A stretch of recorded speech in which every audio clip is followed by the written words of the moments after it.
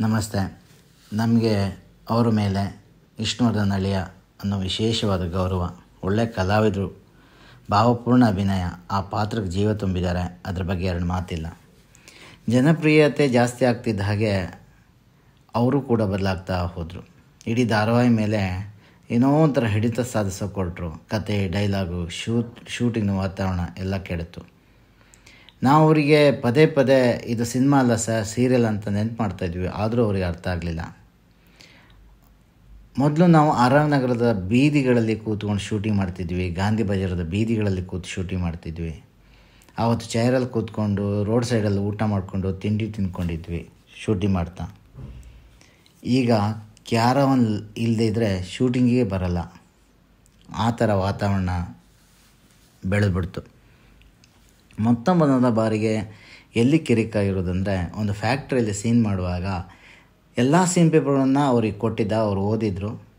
ಒಂದು ಯಾವುದೋ ಒಂದು ಸೀನು ಒಂದು ಆ ಕ್ರಿಯೇಟಿವಿಟಿ ಪರ್ಪಸಲ್ಲಿ ಆ ಸೀನನ್ನು ಆ್ಯಡ್ ಮಾಡೋದಿತ್ತು.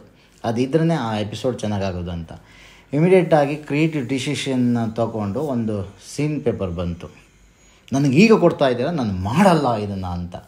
ಯಾಕಂದರೆ ಆ ಒಂದು ಅರ್ಧ ಪೇಸಿನಿಗೆ ಪುನಃ ಫ್ಯಾಕ್ಟ್ರಿಗೆ ಇನ್ನೊಂದು ದಿನ ಹೋಗಿ ನಾವು ಮಾಡೋಕ್ಕೆ ಸಾಧ್ಯ ಆಗಲ್ಲ. ಮಾಡಲೇಬೇಕು. ಮಾಡಲ್ಲ ಅಂತ ದೊಡ್ಡ ಗಲಾಟೆ. ಅದೇ ಬ್ಲಾಕಲ್ಲಿ ಶೂಟಿಂಗು ಲೈಟಿಂಗ್ ಎಲ್ಲ ರೆಡಿ ಇದೆ. ಇರೋದೊಂದು ಎಂಟು ಲೈನ್ಗಳು ಹೇಳುವಂಥ ಡೈಲಾಗ್ಸು ಒನ್ ಅವರ್ ಶೂಟಿಂಗ್ ನಿಲ್ತು. ಇಡೀ ಸಟ್ಟಿನ ವಾತಾವರಣ ಫುಲ್ ಹಾಳಾಗೋಯ್ತು. ಅಲ್ಲಿ ಅಲ್ಲಿ ಹೆಂಗಂದರೆ ಒಬ್ಬ ನಿರ್ದೇಶಕನೂ ಬೆಲೆ ಇಲ್ಲ, ಒಬ್ಬ ಪ್ರೊಡ್ಯೂಸರ್ಗೂ ಬೆಲೆ ಇಲ್ಲ. ತೀರಾ ಅವಮಾನ ಆಗೋಯ್ತು. ನಾನು ಎಷ್ಟು ಸಮಾಧಾನ ಪಡಿಸಿದ್ರು ಅವರು ಅನಿರುದ್ಧ ಅವರು ಕೇಳಿಲ್ಲ. ಆಮೇಲೆ ಒಂದು ಒನ್ ಆ್ಯಂಡ್ ಹಾಫ್ ಅವರ್ ಆದಮೇಲೆ ಬಂದು, ಆ, ಸರಿ ಸರಿ ಸಾರಿ ಮಾಡ್ತೀನಿ ಮಾಡ್ತೀನಿ ಅಂತ. ಬಿಗಿನಿಂಗ್ ಡೇಸಲ್ಲಿ ನಾವು ಎಷ್ಟು ಜೊತೆ ಜೊತೆಯಲ್ಲಿ ಕಷ್ಟಪಟ್ಟಿದ್ದೀವಿ ಅಂದರೆ, ನಮ್ಮೆಲ್ಲ ದುಡ್ಡುಗಳನ್ನು, ಚಿನ್ನ ಒಡವೆ, ಎಲ್ಲ ಅಡ ಇಟ್ಟು ಈ ಸೀರೆಯಲ್ಲಿ ತಂದಾಕಿದ್ದೀವಿ ಅಷ್ಟು ದುಡ್ಡು ಸಾಕಾಗ್ತಿರಲಿಲ್ಲ. ನಾವು ಫ್ರೇಮಲ್ಲಿ ಅಷ್ಟು ಹಾಕಿದ್ದಕ್ಕೆ ಆ ವಿಜೃಂಭಣೆ ಕಾಣಿಸಿರೋದು. ಬೆನ್ಸ್ ಕಾರು, ಹೆಲಿಕಾಪ್ಟರ್ ಎಲ್ಲಿಂದ ಬಂತು? ಇದು ಮೊದಲ ಗಲಾಟೆ ಇದು, ಅವರದ್ದು. ಪ್ರತಿ ಶಾಟ್ ತೆಗೆದಾಗಲೂ ಮಾನಿಟ್ರ್ ಹತ್ರ ಬಂದು ನೋಡೋದು, ಒಂದು ಮಾನಿಟ್ರ್ ನೋಡೋದು. ಇನ್ನೊಂದು ಸಲ ಬೆಟ್ರ್ ಮಾಡ್ತೀನಿ ಮತ್ತೊಂದು ಸಲ ಬೆಟ್ರ್ ಮಾಡ್ತೀನಿ. ಇಲ್ಲಿ ಟೈಮಿಂಗ್ ಇರುತ್ತೆ, ಒಂದು ಬಜೆಟ್ ಲಿಮಿಟ್ ಇರುತ್ತೆ. ಆ ಒಂದು ಯೋಚನೆಯೇ ಇಲ್ಲ. ಕೊಡೋದು ನೈನ್ ಅವರ್ಸಲ್ಲಿ ಈ ಟೈಮ್ ವೇಸ್ಟೇ ಒಂದು ತ್ರೀ ಫೋರ್ ಅವರ್ಸ್ ಆಗಿಬಿಟ್ರೆ ನಾನು ಶೂಟಿಂಗ್ ಮಾಡೋದೆಲ್ಲಿ ಬ್ಯಾಂಕಿಂಗ್ ಮಾಡೋದೆಲ್ಲಿ ಟೆಲಿಕಾಸ್ಟಿಗೆ ಕಳಿಸೋದೆಲ್ಲಿ, ಈ ಟೋಟಲಿ ಇದೇ ಹಿಂಗೆ ಆಗ್ತಾ ಹೋಯಿತು ಉದ್ದಕ್ಕೂ ಶೂಟಿಂಗ್ ಸೆಟ್ಟಲ್ಲಿ ಸಣ್ಣ ಸಣ್ಣ ವಿಷಯಕ್ಕೂ ಜೋರಾಗಿ ಕೂಗಾಡೋದು, ಗಲಾಟೆ ಮಾಡೋದು ಇದು ಆಗಾಗ ನಡೀತಾನೇ ಇತ್ತು. ಇದರಿಂದ ತಂದೆಜರಿಗೆ ನಂದು ತುಂಬ ನೋವು, ಅವಮಾನ. ಕೆಲವರೆಲ್ಲ ಇದು, ಕೆಲಸ ಬಿಟ್ಟು ಹೋದರು, ಕೆಲವರನ್ನು ನಾವು ಇವರಿಗೋಸ್ಕರ ಕೆಲಸದಿಂದ ತೆಗೆದಿದ್ದು ಇದೆ.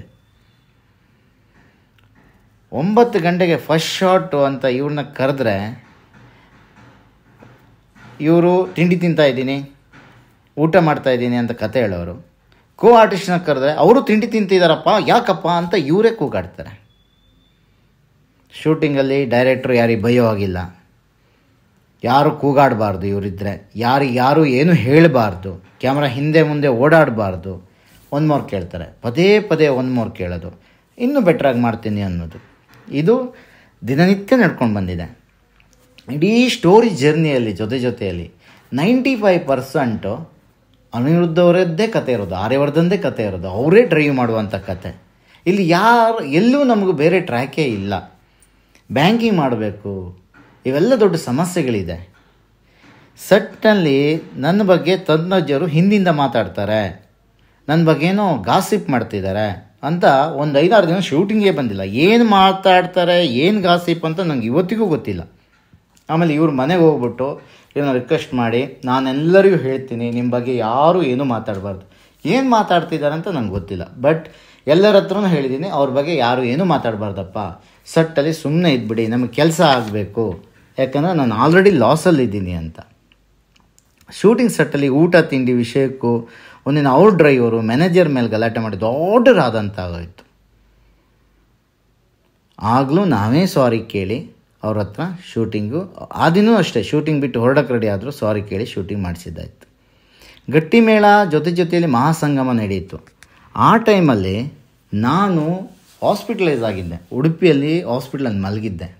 ಆ ಕೊರೋನಾ ಟೈಮಲ್ಲಿ ಪೇಮೆಂಟ್ಗಳೆಲ್ಲೂ ಹದಿನೈದು ಪರ್ಸೆಂಟು ಕಟ್ಟಾಗಿತ್ತು ಅದನ್ನು ಇವರಿಗೂ ಅಪ್ಲೈ ಮಾಡಿದ್ದೀವಿ, ಎಲ್ಲರಿಗೂ, ಎಲ್ಲ ಸೀರಿಯಲ್ ಅವರು ಕಟ್ ಮಾಡಿದ್ದಾರೆ, ಹದಿನೈದು ಪರ್ಸೆಂಟ್ ಇವರು ಎರಡೂ ಸಟ್ಟಿನ ಇನ್ನೂರೈವತ್ತು ಜನ ಇದ್ದರು ಇವರು ಹೊರಗಡೆ ಬಂದು ಜೋರಾಗಿ ಕೂಗಾಡಿ, ಗಲಾಟೆ ಮಾಡಿ, ಅವಾಚ್ಯ ಪದಗಳಿಂದ ಪ್ರೊಡಕ್ಷನನ್ನು ನಿಲ್ಲಿಸಿ ನನ್ನ ದುಡ್ಡಿಗೆ ಯಾಕೆ ಕಟ್ ಮಾಡ್ತಾಯಿದ್ರೆ ಹಾಗೆ ಈಗ ಅಂತ. ಇಡೀ ಪ್ರಪಂಚವೇ ಒಂದು ಆ ಥರ ಒಂದು ಪರಿಸ್ಥಿತಿಯನ್ನು ಮಲಗಿದಾಗ, ಎಲ್ಲರದ್ದು ದುಡ್ಡು ಕಟ್ಟಾದಾಗ ಇವರು ಒಂದು ಐದು ರೂಪಾಯಿನೂ ಕಟ್ ಮಾಡೋಕ್ಕೆ ಒಪ್ಪಲಿಲ್ಲ ಅದರಿಂದನೂ ನಾನು ನಾಳೆಯಿಂದ ಶೂಟಿಂಗ್ ಬರಲ್ಲ ಅಂತ. ಆಗ ಚಾನಲ್ನ ಇ ಪಿ ಇದ್ದರು ಅವ್ರ ಮೇಲೂ ಕೂಗಾಡಿ ದೊಡ್ಡ ಗಲಾಟೆ ಆಗೋಯ್ತು. ಆಗಲೂ ಅವ್ರಿಗೆ ಸಮಾಧಾನ ಮಾಡಿ ಸೀರಿಯಲ್ನ ಮುಂದುವರ್ಸ್ಕೊಂಡ, ಮುಂದುವರ್ಸ್ಕೊಂಡಿದ್ದಾಯಿತು. ನಿಮ್ಗೆ ಅನಿಸ್ಬೋದು, ಇಷ್ಟೆಲ್ಲ ನಡೆದ್ರೂ ಯಾಕೆ ಏನೂ ತೀರ್ಮಾನ ತೊಗೊಂಡಿಲ್ಲ ಅಂತ. ಯಾಕಂದರೆ ನಾವು ತುಂಬ ಇನ್ವೆಸ್ಟ್ ಮಾಡಿದ್ದೀವಿ. ನಮ್ಮ ದುಡ್ಡಿತ್ತು. ಸೀರಿಯಲ್ಗೆ ಏನಾದರೂ ಹೆಚ್ಚು ಕಡಿಮೆ ಆಗಿ ನಿಂತು ಹೋದರೆ ಟಿ ಆರ್ ಪಿ ಕಡಿಮೆ ಆದರೆ ಸೀರಿಯಲ್ ನಿಂತು ಹೋದರೆ ನಾನು ನನ್ನ ಭವಿಷ್ಯ ಏನಾಗಬೇಕು? ನಾವು ಫ್ಯಾಮಿಲಿ ಸುಸೈಡೆ ಮಾಡ್ಕೋಬೇಕು. ಅಂಥ ಪರಿಸ್ಥಿತಿಯಲ್ಲಿದ್ವಿ. ಹಾಗಾಗಿ ನಾವು ಎಲ್ಲೂ ಏನೂ ಮಾತಾಡಿಲ್ಲ. ಇವ್ರನ್ನ ಕಾಲು ಹಿಡ್ಕೊಂಡು, ಇವ್ರ ಮನೆಗೆ ಹೋಗಿ ರಿಕ್ವೆಸ್ಟ್ ಮಾಡ್ಕೊಂಡು ಮಾಡ್ಕೊಂಡು ಶೂಟಿಂಗ್ ಮಾಡಿಸ್ತಾ ಇದ್ವಿ. ಔಟ್ಡೋರ್ ಶೂಟಿಂಗ್ ಎಲ್ಲರೂ ಇದ್ದರೆ ಸೌದತ್ತಿ ಯಲ್ಲಾಪುರ, ಆ ಕಡೆ ಎಲ್ಲ ಶೂಟಿಂಗ್ ಇದ್ದರೆ ಅಲ್ಲಿಂದ ಜರ್ನಿ ಒಂದು ಟೂ ಅವರ್ಸ್ ಜರ್ನಿ ಬೇರೆ ಕಡೆ ಶಿಫ್ಟ್ ಆಗದಿರುತ್ತೆ. ನಾಳೆ ಬೆಳಿಗ್ಗೆ ಶೂಟಿಂಗ್ ಮಾಡಬೇಕು. ಆರು ಗಂಟೆಗೆ ಇಲ್ಲಿ ಪ್ಯಾಕಪ್ ಆಗಿರುತ್ತೆ. ನಮ್ಮದೇ ಡ್ರೈವರು ನಮ್ಮದೇ ಗಾಡಿ ಇದ್ರೂ ನೈಟ್ ಜರ್ನಿ ಮಾಡಲ್ಲ. ಬೆಳಿಗ್ಗೆನೇ ಬಂದುಬಿಡ್ತೀವಿ, ಬೆಳಿಗ್ಗೆ ಹೊರಡ್ತೀವಿ ಅಂತ. ಬೆಳಿಗ್ಗೆ ಹೊರಟು ಅಲ್ಲಿ ಬರಬೇಕಂದ್ರೆ ಹತ್ತು, ಹನ್ನೊಂದು ಗಂಟೆ ಆಗುತ್ತೆ. ಯೂನಿಟು ಯೂನಿಟ್ ಎಲ್ಲವೂ ಇಲ್ಲಿಂದ ಹೊರಟಿರುತ್ತೆ. ಇದರಲ್ಲೂ ನಮಗೆ ಶೂಟಿಂಗ್ ಹಾಳು ಟೈಮ್ ವೇಸ್ಟ್ ಮಾಡಿದ್ರು. ಇದರಿಂದಲೂ ಲಾಸ್ ಆಗೋಯ್ತು. ಆಮೇಲೆ ಆರ್ ಎಫ್ ಸಿಯಲ್ಲಿ ನಾವು ಶೂಟಿಂಗ್ ಮಾಡಿದ್ವಿ. ಅಲ್ಲಿ ಎಲ್ಲರೂ ಶೂಟಿಂಗ್ ಸೆಟ್ಟಲ್ಲೇ ಊಟ ಮಾಡಿದ್ರೆ, ಇವರಿಗೆ ಸ್ಟಾರ್ ಹೋಟ್ಲಲ್ಲೇ ಊಟ ಆಗಬೇಕು. ಆಮೇಲೆ ಅಲ್ಲೆಲ್ಲೋ ಔಟ್ಡೋರ್ ಮಾಡ್ತಿರ್ತೀವಿ ಆರ್ ಎಫ್ ಸಿಯಲ್ಲಿ ಅಲ್ಲೆಲ್ಲರೂ ರಿಸಸ್ಸಿಗೆ ಅಲ್ಲಿ ಜಾಗ ಇದ್ರೂ ಕೂಡ ಅಲ್ಲಿ ಮಾಡ್ದೇ ಸ್ಟಾರ್ ಹೋಟ್ಲಿಗೆ ಹೋಗಬೇಕು. ಅದಕ್ಕೂ ಗಾಡಿ ಕಳಿಸ್ಬೇಕು. ಜೊತೆಗೆ ಕೋ ಆರ್ಟಿಸ್ಟ್ಗಳನ್ನು ಡಿಸ್ಟರ್ಬ್ ಮಾಡಿ ಜೊತೆಗೆ ಕರ್ಕೊಂಡು ಹೋಗೋರು. ಶೂಟಿಂಗ್ ಸ್ಟಾಪ್ ಆಗೋದು. ಇಲ್ಲೂ ತುಂಬ ಲಾಸ್ ಆಗಿ ನಮಗೆ ಆರ್ ಎಫ್ ಸಿಯಲ್ಲಿ ಇವ್ರದ್ದು ಊಟದ ಬಿಲ್ಲೆ ಎರಡು ಲಕ್ಷದ ಹತ್ತಿರ ಆಗೋಯ್ತು.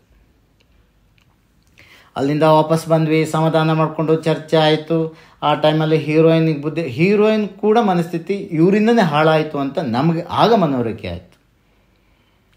ಅಲ್ಲಿಂದ ನಾವು ಫ್ಲ್ಯಾಶ್ ಬ್ಯಾಕ್ ಸ್ಟೋರಿಗೆ ಹೋದ್ವಿ. ಇಲ್ಲಿ ನೈಸ್ ರೋಡ್ ಹತ್ರ ಮಹಾಲಕ್ಷ್ಮಿ ದೇವಸ್ಥಾನ ಅಂತಿದೆ. ಅಲ್ಲಿ ಸೋನುಗೂಡ, ವಿಜಯಲಕ್ಷ್ಮಿ ಸಿಂಗ್, ಜೈ ಜಗದೀಶ್ ಅವರೆಲ್ಲರೂ ಇದ್ದರು ಅವ್ರು ಅಲ್ಲಲ್ಲೇ ಬಟ್ಟೆ ಚೇಂಜ್ ಮಾಡಿಕೊಂಡು, ಮೇಕಪ್ ಮಾಡಿಕೊಂಡು, ರೆಡಿ ಆದರು.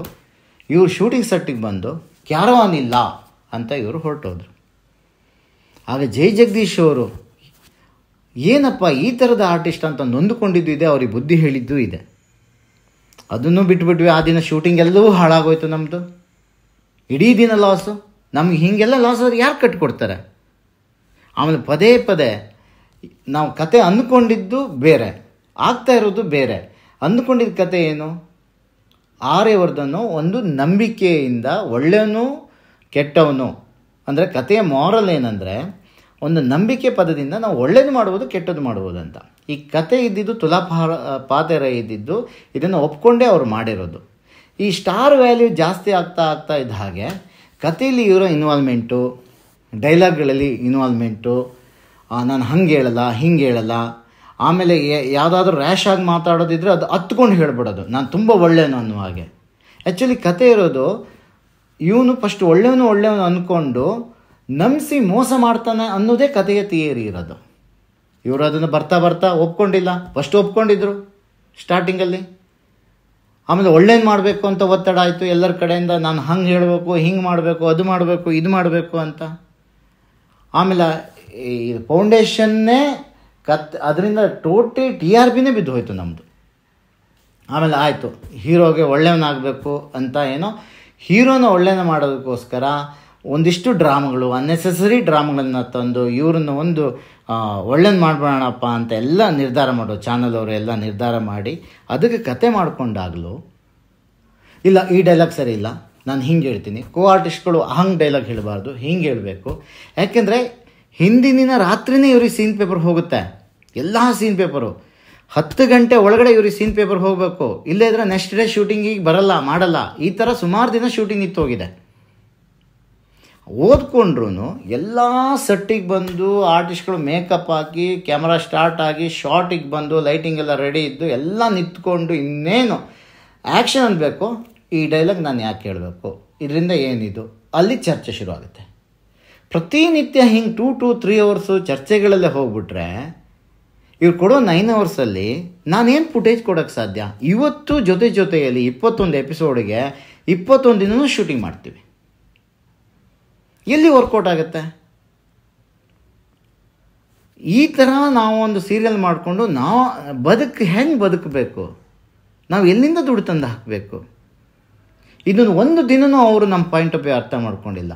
ಅವರೊಂದು ಸ್ವಾರ್ಥದಿಂದ ತನ್ನ ಕತೆ ಹೀಗಾಗಬೇಕು ಅಂತ ಇದನ್ನು ಬಳಸ್ಕೊಂಡ್ರು ಬಿಟ್ಟರೆ ಈ ಥರ ಆಗಲೇ ಇಲ್ಲ. ನಾವು ಮಾತಾಡಿಸುವ ಅನಿರುದ್ಧೇ ಬೇರೆ, ವೈಯಕ್ತಿಕವಾಗಿ ಅವರು ಇರೋದೇ ಬೇರೆ. ಮಾತಲ್ಲಿದ್ದ ಹಾಗೆ ಕೃತಿಯಲ್ಲಿಲ್ಲ. ಇದು ನಾನು ಕಂಡುಕೊಂಡಂಥ ಸತ್ಯ. ಹಾಗಾಗಿ ಇಷ್ಟೆಲ್ಲ ಬೆಳವಣಿಗೆ ಆದಮೇಲೆ ಚಾನಲ್ಲು ಮತ್ತು ನಾವು ಎಲ್ಲ ಕೂತು ನಿರ್ಧಾರ ಮಾಡಿದ್ದೇನೆಂದರೆ ಈ ಸೀರಿಯಲಲ್ಲಿ ಅವರನ್ನು ಮುಂದುವರಿಸೋದು ಬೇಡ.